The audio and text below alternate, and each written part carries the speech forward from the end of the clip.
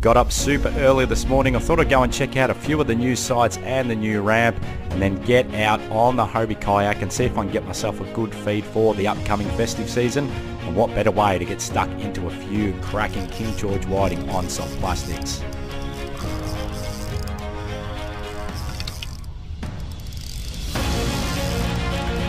Oh, hello, King George. Look at that.